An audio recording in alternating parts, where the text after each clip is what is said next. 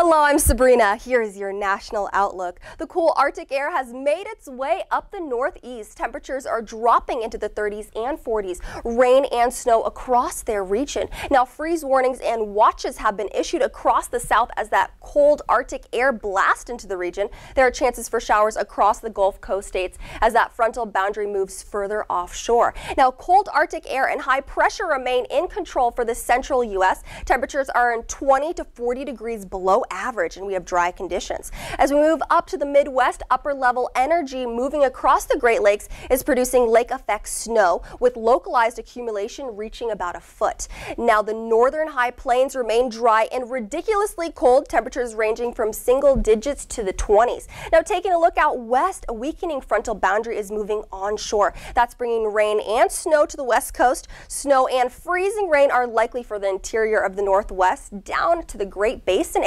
now, California is getting some much needed rain as that storm moves its way onshore. Temperatures in the 60s and the 70s. Michael captured this photo in North Carolina. Thank you so much for sharing. It's beautiful. Know what's coming. Follow Sabrina Reese TV for your latest updates.